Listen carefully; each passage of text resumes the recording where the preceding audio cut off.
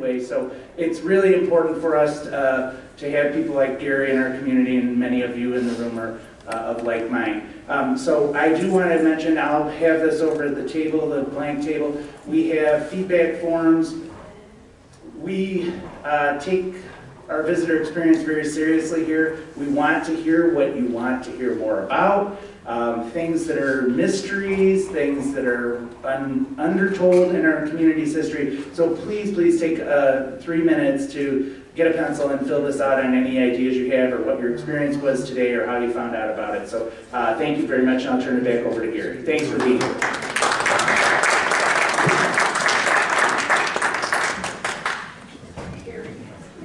All right. Prohibition begins. So, you know, what? It, uh, it wasn't illegal to consume alcohol during, during Prohibition. Uh, many people assume that Prohibition made it illegal to consume alcohol, but that wasn't the case. The 18th Amendment actually banned the manufacture, transportation, and sale of intoxicating liquors. In fact, any alcohol, in fact, any alcohol a person is stored away before 1920 was theirs to keep and enjoy in the privacy of their homes. I don't think I want one 10-year-old beer, though. I mean, the Prohibition played a role in turning around the Great Depression. The Great Depression was known as one of the worst economic downturns in history. After the great stock market crash of 1929, the Great Depression's lowest point in 1933, the anti-prohibition activists, including Franklin D. Roosevelt, realized the significance in ending prohibition and its effect on the economy. In fact, Roosevelt ran for president in 1932 on the platform for calling for the repeal and uh, won by a landslide, ending the prohibition one year later after getting into office. Uh, number three, women led the push for prohibition. Uh-oh. It may, it may or may not surprise you, but women were a large part of the push for prohibition. While the anti-alcohol position had been popular for some time, the women led the movement, gained great momentum after World War I. Women saw alcohol and the bars it was served in as home wreckers and felt that the alcohol and the husbands being drunk all much of the time led uh, to abuse and poverty. Prior to the repeal of prohibition, women were not allowed into bars or allowed to vote. It is thought that the prohibition movement helped lead the path to women's suffrage. Some states maintained the ban after prohibition's repeal. Uh, prohibition lasted a little more than 13 years. During that time, there were states that didn't feel the need to enforce the laws with their borders. For example, Maryland never enacted an enforcement code. Other states, however, decided to continue the uh, ban of alcohol after the prohibition's repeal. Oklahoma State tried until 1959. And no alcohol was allowed in Mississippi until 1966. Even today, 10 states have counties where alcohol sales are still completely dry. Uh, and it's also important to point out that uh, many of the low-quality products contained uh, of of the alcohol during Prohibition contained uh, grain alcohol or other toxic chemicals and may have led to killing up to upwards of 10,000 people prior to the repeal in 1933. Uh, What does the beer maker make when the beer maker can't make beer? Um, During Prohibition, 1920, 1933, some breweries, including those that made Budweiser, Schlitz, Miller, Pabst, and Blatz beers, turned to the production of malt extract for the obvious purpose of home brewing of beer.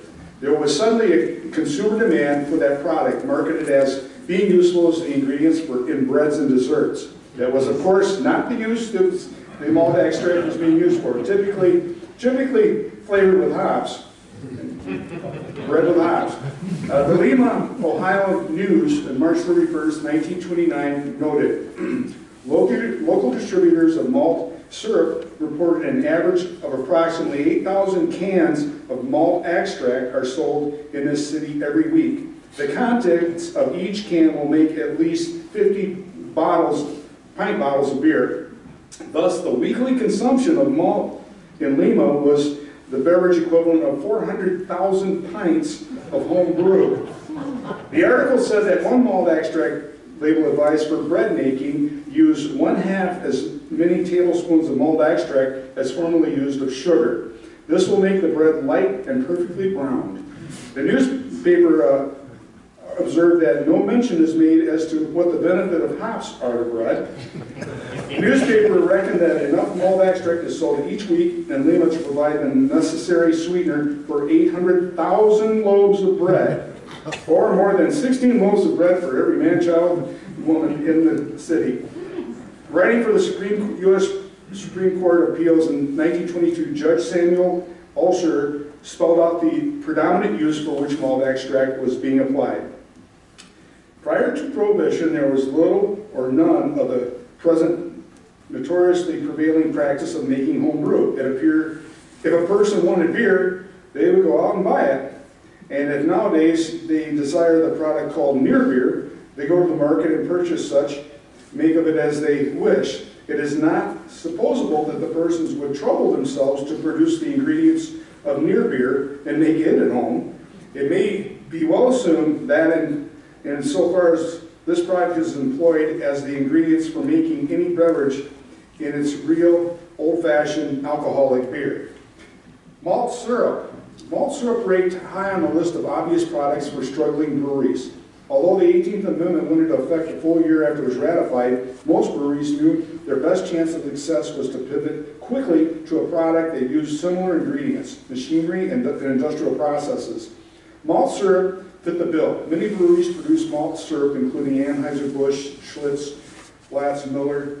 Um, Malt syrup is a thick, unrefined sweetener product from malted barley, which appears to be one of the primary ingredients in beer making. Malt syrup is used to make malted milk. A lot of it was not destined to, uh, for malted milkshakes or candy bars. It was sold with a wink to customers who intended to use it for home brewing. Brewer's yeast. So again, this is stuff that brewers did to stay in business. Brewer's yeast, malt syrup alone wasn't enough to make beer. To corner the market on home brewing, breweries also sold brewer's yeast.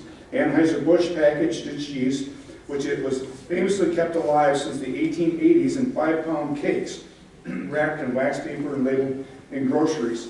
Brewer's yeast was specifically formulated to allow home brewers to make great-tasting beer. Near beer and soft drinks. Near beer was another no-brainer for breweries during Prohibition.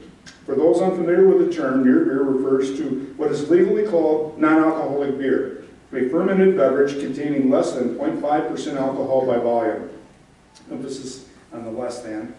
Under the Volstead Act, the, the companion law that defined intoxicating beverages established enforcement parameters for prohibition, near beer was legal. Many breweries already produced near beer before the passage of the 18th Amendment. Statewide prohibitions existed in three dozen states before the official start of prohibition in, in 1920. Near beer was promoted as a healthy, hearty drink. Advertisements aimed at pregnant and nursing women touted as benefits for malt for the baby's diet as well as supporting a mother's milk supply. Near beer, near beer produced increased during Prohibition, and most breweries that remained open produced their own version. Budweiser made Bevo. They have a 1918 uh, magazine over there that shows an article of, of Bevo. Uh, Pabst Blue Ribbon made Pablo. Schlitz made Famo. Blatz had beverages labeled brew with less than 5%, 0.5%. Uh, soft drinks. Breweries also made soft drinks such as ginger ale, sarsaparilla, fruit-flavored sodas. Some breweries were able to develop local followers of their specific soft drinks, but most abandoned those products after Prohibition. Blatz made a root beer, grape, lime ricky, orange, and several other flavors. Candy. Candy was a popular idea for breweries, and quite a few produced some sort of sweet treat of confection, confectioner's ingredient. Milwaukee's Blatz made grape and mint flavored chewing gums. Schell's Brewery in uh, New Ulm, Minnesota began wholesaling candy made with by other companies. Coors became the main supplier of malted milk at the Mars Candy Bar Company and continued to produce malted milk until 1957. One failed product worth mentioning was Schlitz Eline, Eline chocolate bars. Listen to this. Although the chocolate bar itself seemed to be well made, it was packaged on a machine that used fish oil to lubricate it, which in turn gave the chocolate a fishy taste. Ceramics. Adolf Coors, founder of the Golden Brewery known as Coors, became president of the Herold China and Pottery Company in Golden, Colorado.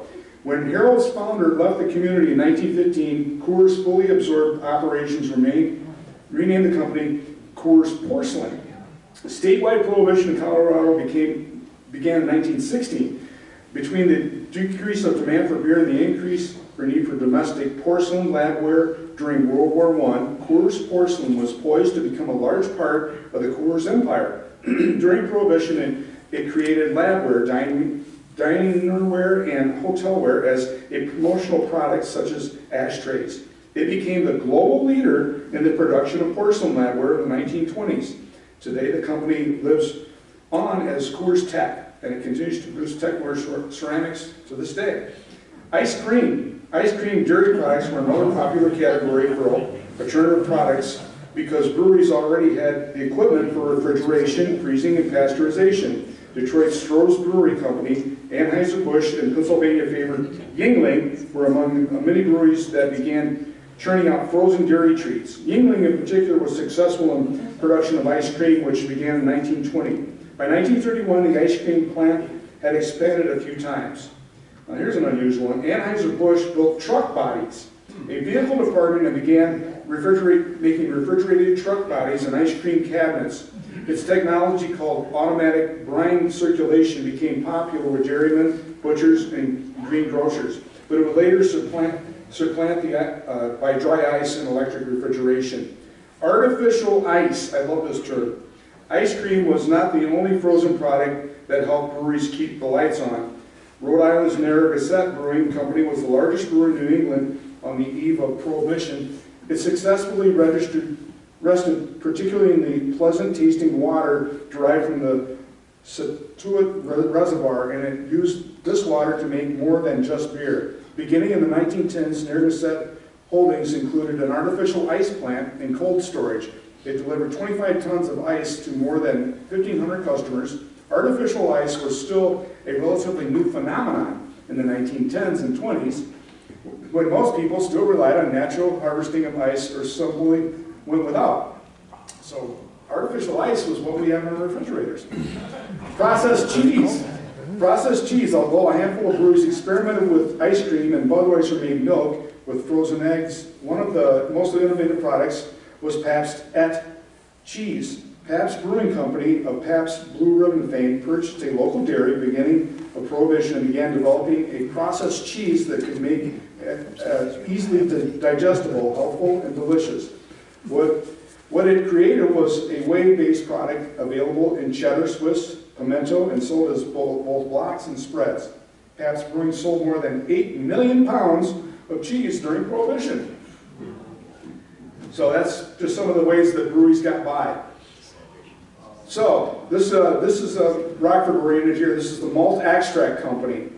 The 18th Amendment was proposed by Congress in December of 1917. Uh, it was ratified on January 16th of 1919. Although Winnebago County had already gone dry in 1917, Prohibition lasted until December 5th of 1933. It is the only amendment ever to be repealed. I'll drink to that.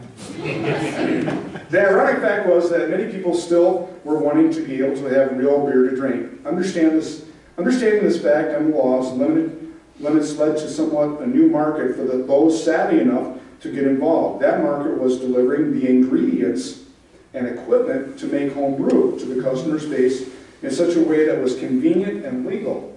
One such man in Rockford was who fully recognized this opportunity. His name was Louis M. Weinstein. Mr. Weinstein, in his early 20s, when he had been involved in a malt extract company in uh, Madison, Wisconsin, before moving to uh, Rockford. In, uh, the Rockford paper records the grand opening of the Rockford Malt Extract Company, owned by Louis Weinstein, opened on May 19th of 1926 at 1030 South Main Street in the west side of Rockford.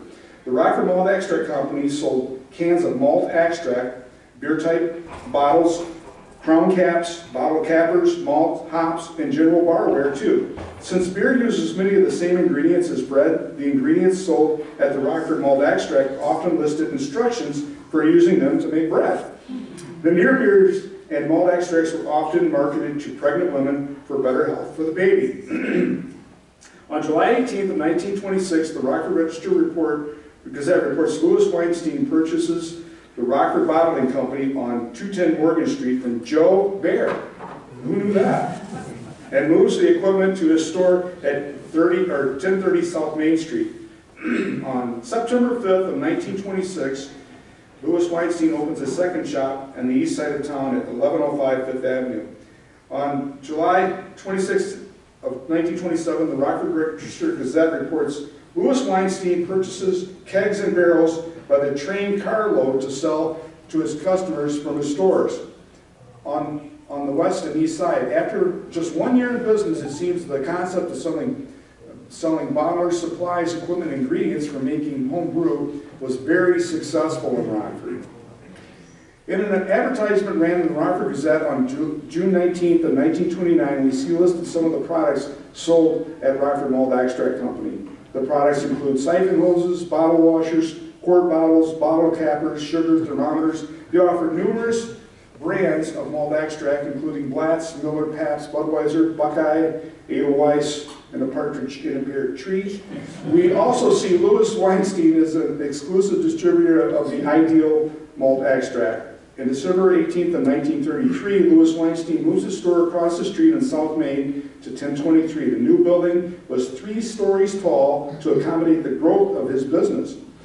Now that Prohibition had just ended, Mr. Weinstein wanted to position himself for selling real alcohol beverages as soon as possible.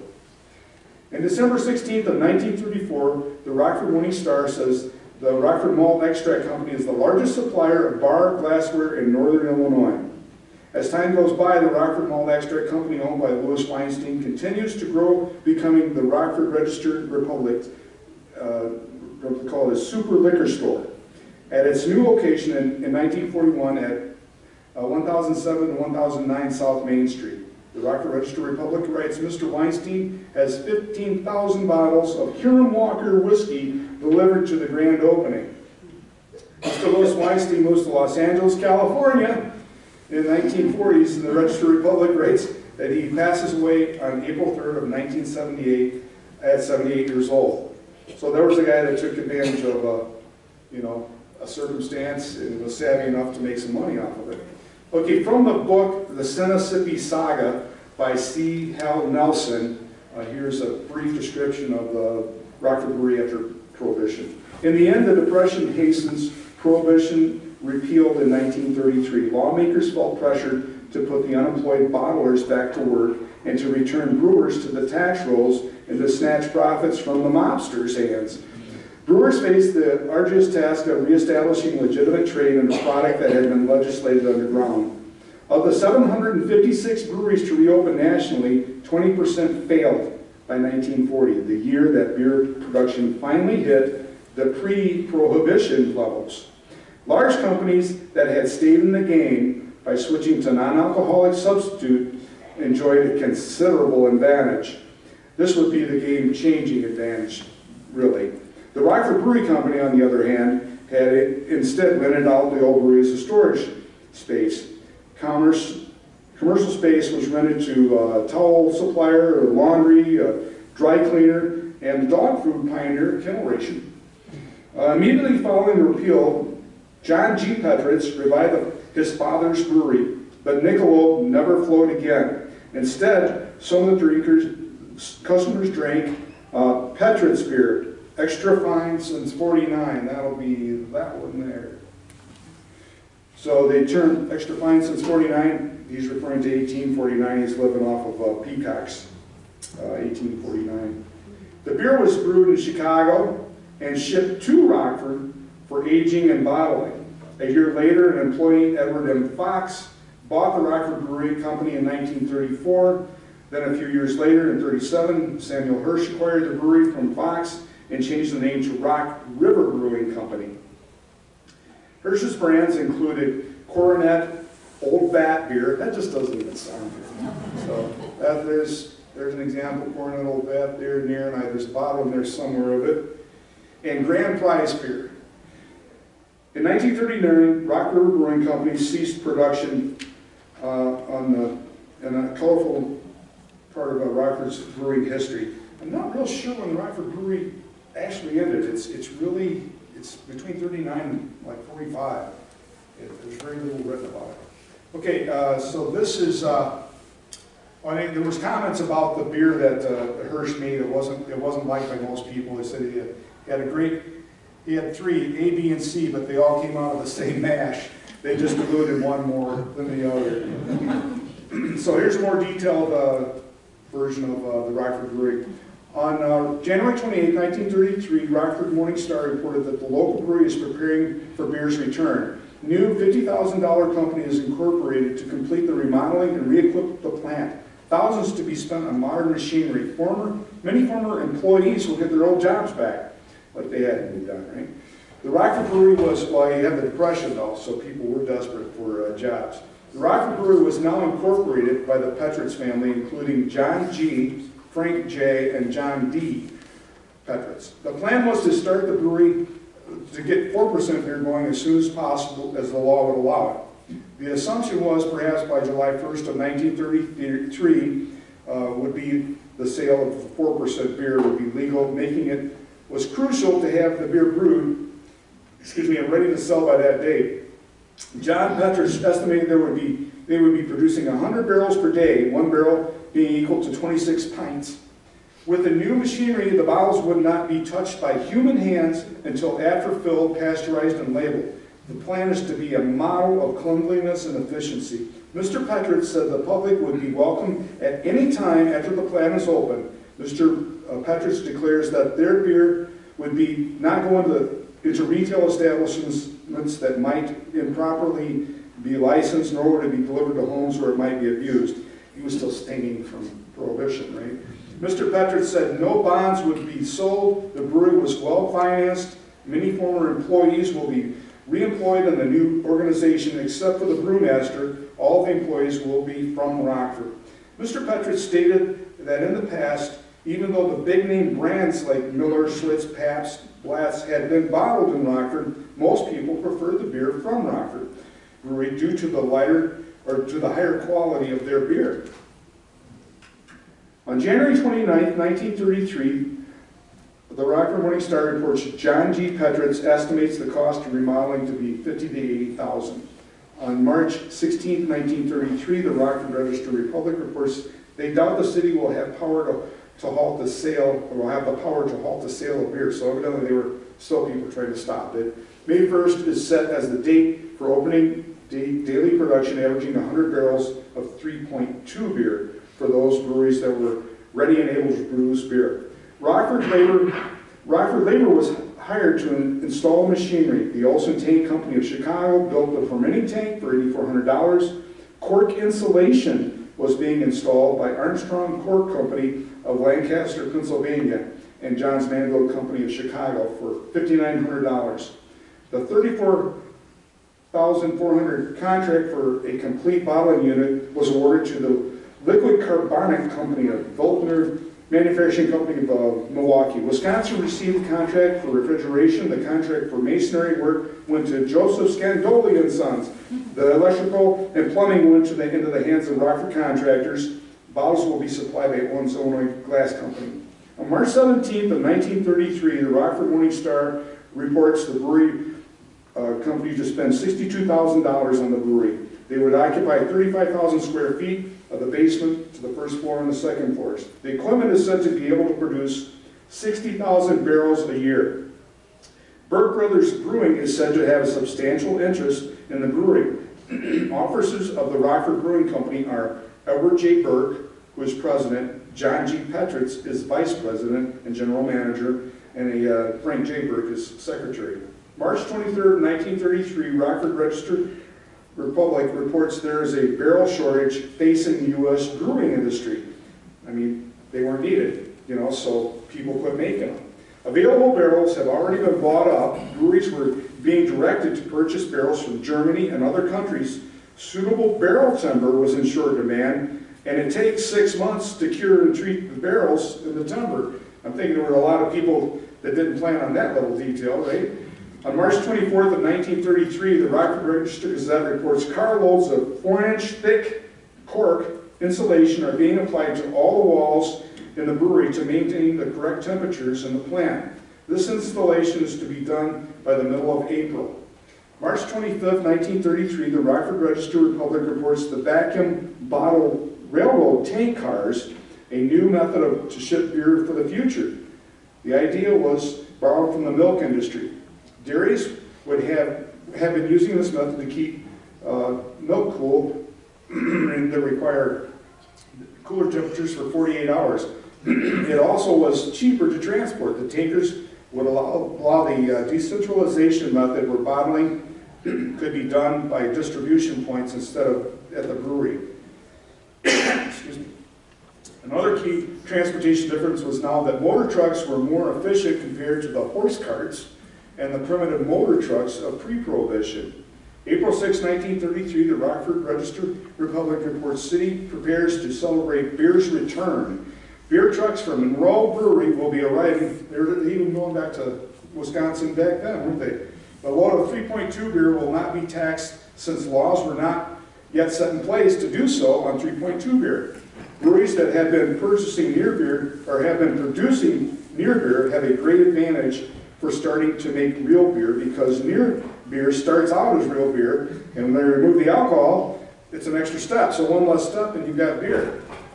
By April 6, 1933, the Rockford Register Republic reports Miller High Life beer to be served here according to the M.H. Warren, uh, President and General Manager at the distributing company, so Warren Distributing.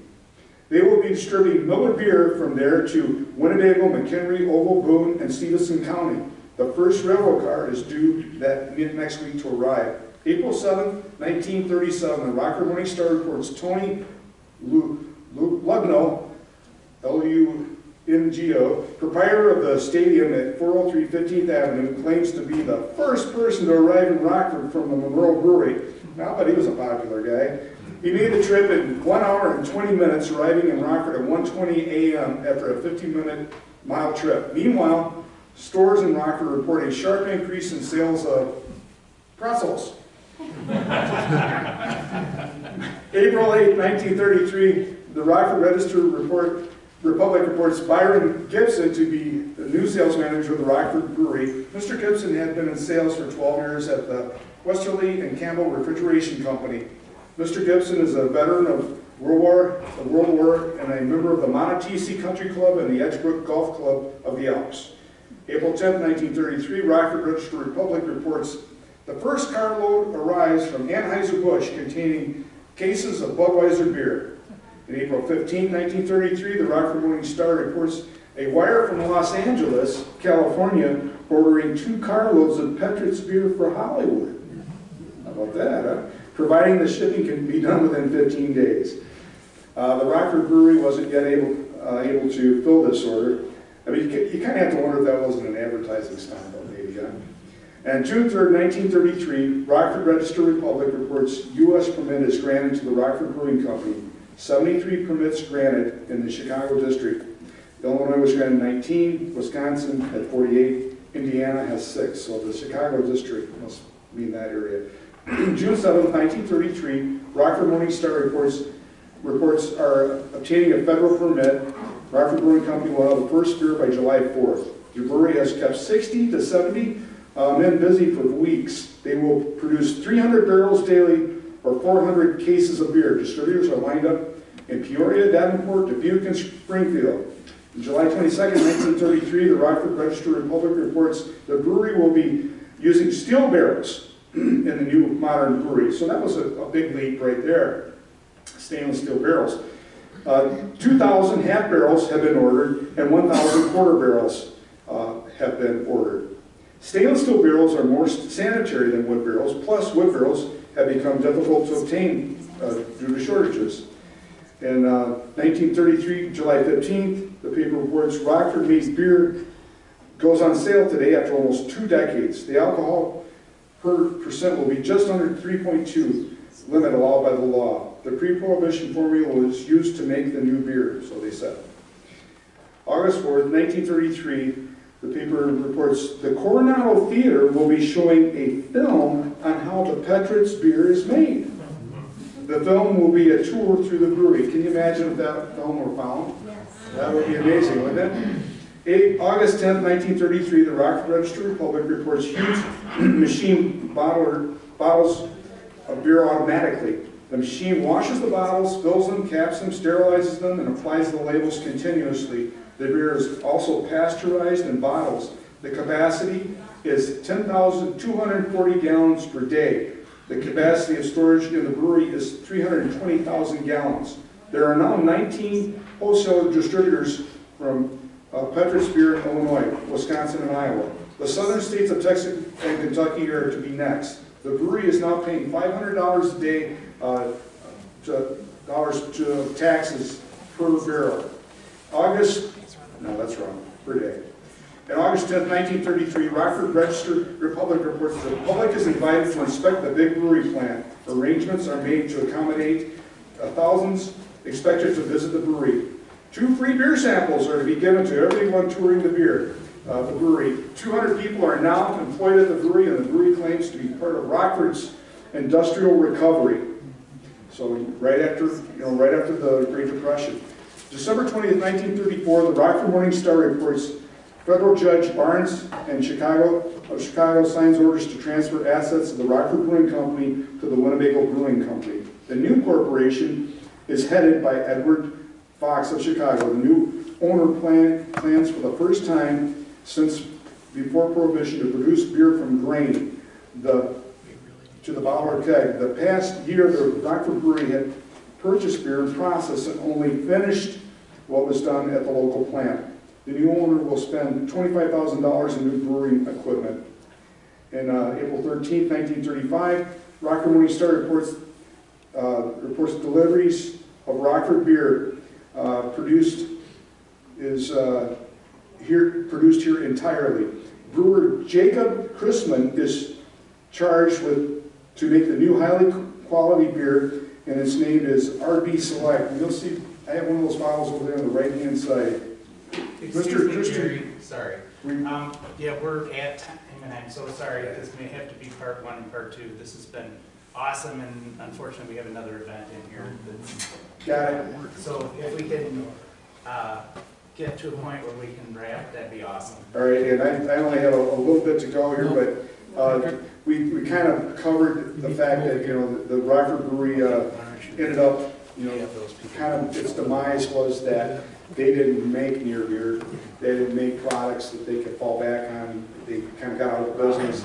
And that's basically what kept them from being successful afterward. All the big money, uh, Budweiser's and, you know, the Schlitzes and all those companies, they were, they set themselves up well for success after Prohibition. So this concludes, uh,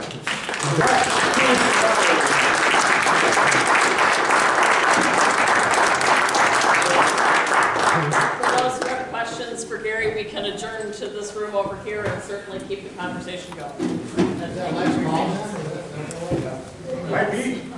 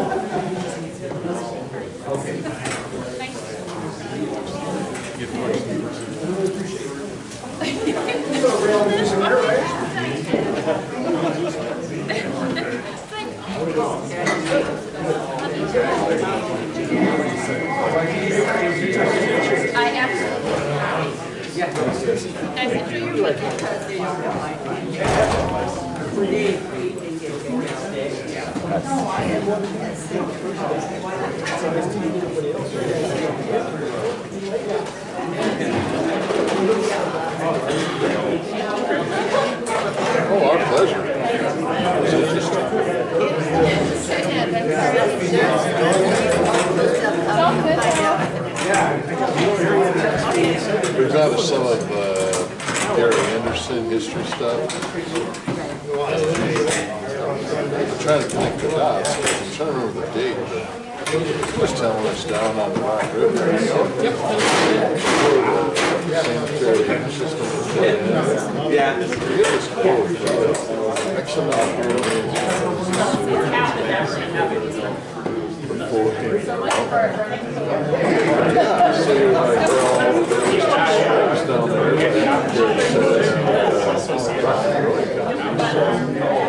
Maybe the ice or the water, you didn't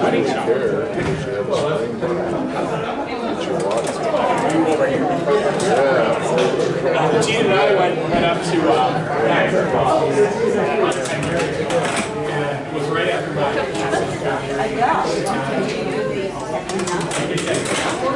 You guys pick up that little thing last guy was talking about, one veteran, member of the Monmouth, uh, country club, Knightsbrook Country Club. uh, Club. So we've got a plot. Got from our neighborhood, first it's like a neighborhood thing. That's a plot now, where we live, going north. So that big marsh park was part of Edgebrook Golf Club.